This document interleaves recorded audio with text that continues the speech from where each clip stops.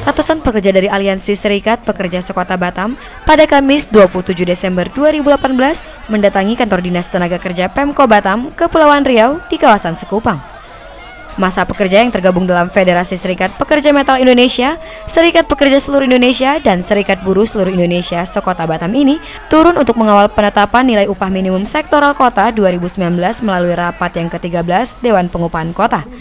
Meskipun rapat ini tidak dihadiri oleh pengurus Asosiasi Pengusaha Indonesia Kota Batam, rapat yang diikuti sekitar 20 anggota DPK ini tetap menerbitkan rekomendasi nilai UMSK 2019 untuk diteruskan kepada Gubernur Kepulauan Riau.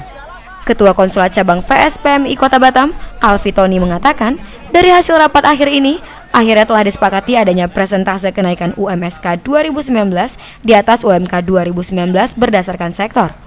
Untuk sektor 1 naik sebesar 1% dari UMK 2019, sedangkan sektor 2 naik sebanyak 2%. Kenaikan ini bukan merupakan keputusan akhir, sebab akan diajukan kepada Gubernur Kepri untuk diberikan keputusan dan penetapannya. Untuk sektor 1 itu eh, satu persen dari UMK 2019, yang kelompok 2 itu eh, dua persen dari UMK 2019, kelompok satu atau yang tertingginya itu 7% dari uh, UMK 2019. Untuk sektor yang terendah itu sekitar 3 juta